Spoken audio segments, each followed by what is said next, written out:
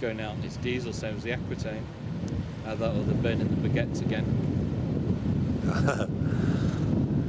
See the diesel exhaust. Yeah, the side of it.